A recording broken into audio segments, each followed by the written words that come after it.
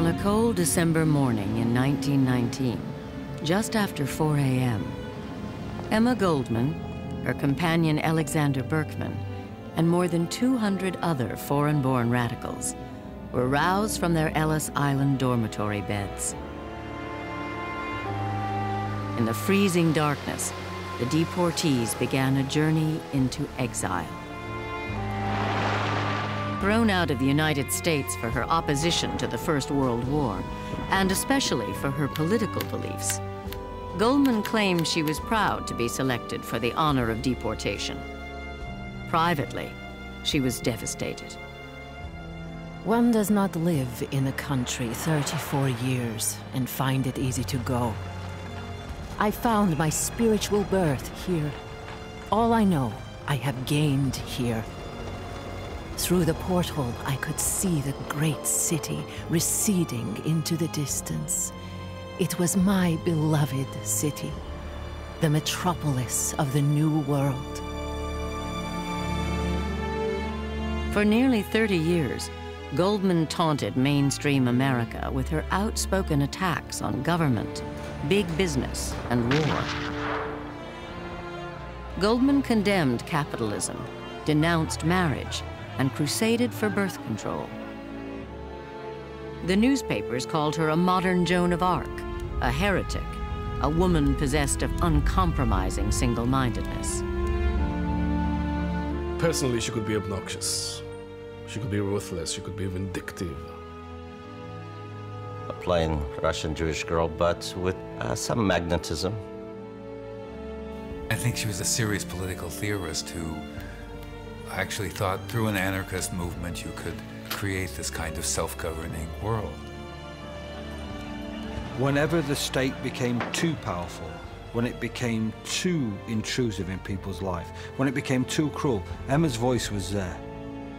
Anarchism was often associated with violence and terrorism, and that's the image that people have today. I think her whole life was operatic, uh, meaning flamboyantly larger than life. Goldman's story is one of passionate defiance.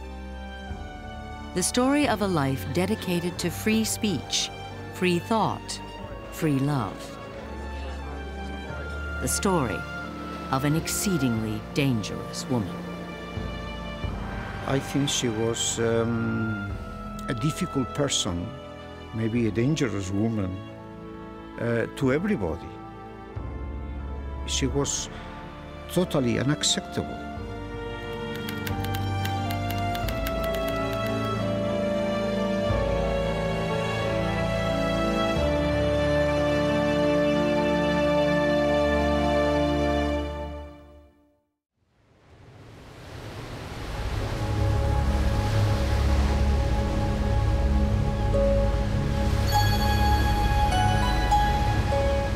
Emma Goldman crossed three seas to reach the Promised Land.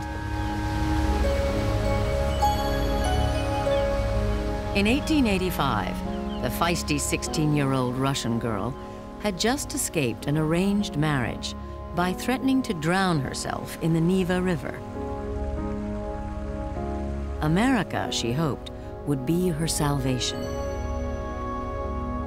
A land of hope, a land of opportunity, a land of infinite possibility. When you come into this country, all things are possible for you. All things are possible. You can forget the past, you can have a brave new world.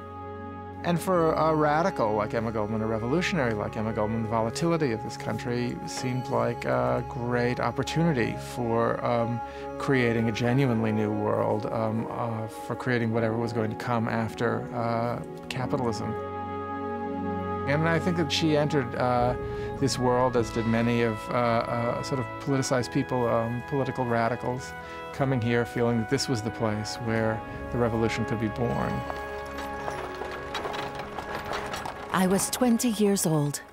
My entire possessions consisted of $5 and a sewing machine. I had no friends, but I carried the address of Die Freiheit, an anarchist newspaper. Within a day of her arrival, Goldman walked into Sachs Cafe.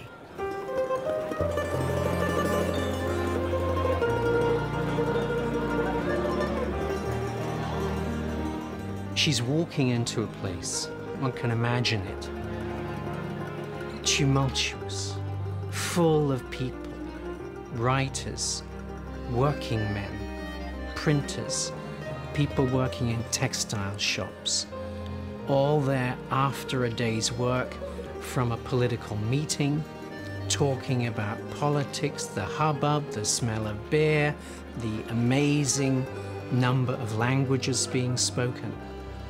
She came home when she came to Sachs. Sitting at a nearby table was Alexander Berkman. Berkman, called Sasha by his friends, had been in the country only a year. He would become the still point of her life. He was quite standoffish at first. He didn't think women uh, were reliable revolutionaries.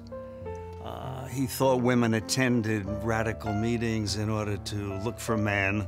Uh, and uh, once they found men, they were gone and took the men with them.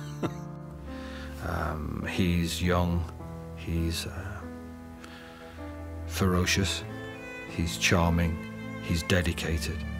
He, he lives and breathes anarchism. She's aware that something's happening in her. She may not even be aware of it. Maybe we're saying too much. You've suddenly changed, and you're there. And now you are with other people. You're not alone. It's been a fantastic time for her.